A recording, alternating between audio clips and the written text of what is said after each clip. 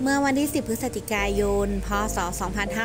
2564 พลเอกสุชาติผ่องพุทธ ประธานอนุกรรมการบริหารจัดการทรัพยากรน้ำรายภาค ในพื้นที่ภาคกลาง ได้เป็นประธานการประชุม คณะอนุกรรมการบริหารจัดการทรัพยากรน้ำรายภาค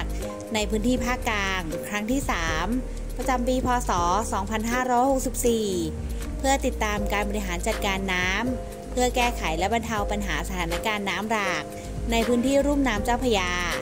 โดยผ่านสื่ออิเล็กทรอนิกส์ ไปยังสารกลางจังหวัดทั่วภาคกลาง โดยมีนายปีชาทองคำรองผู้ว่าราชการจังหวัดสุพรรณบุรี พร้อมด้วยคณะอนุกรรมการบริหารจัดการน้ำจังหวัดสุพรรณบุรี และในส่วนของเทศบาลเมืองสุพรรณบุรีนั้น ดรเอกพันธ์อินเจเอื้อ นายกเทศมนตรีเมืองชนบุรี ได้เข้าร่วมการประชุมในครั้งนี้ด้วยณห้องประชุมพายแก้วชั้น 4 สารกลางจังหวัดสุพรรณบุรี